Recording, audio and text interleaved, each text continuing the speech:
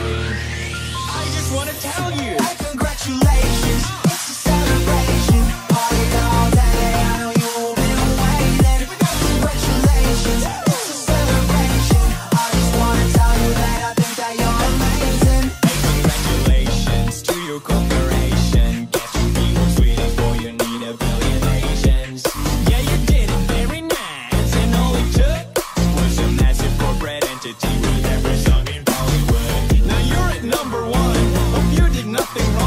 starting your business by selling pirated songs.